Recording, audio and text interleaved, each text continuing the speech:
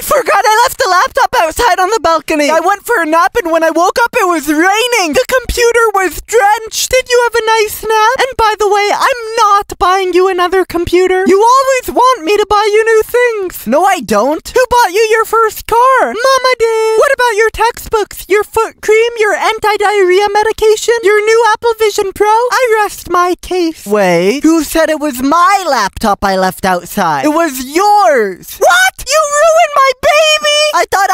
Your baby. Why did you let the clouds pee on my laptop? You ruined it. Mom, don't make a big deal out of it. Your laptop is like 10 years old. You needed a new one anyhow. It had your baby pictures on it. I had everything on it. Everything. And now it's all gone. Why did you do this to me? Chatback generates the best excuse. Download now. I wanted to buy you a new computer for your birthday. Everything on your old is backed up on this new one. Happy birthday, Mom.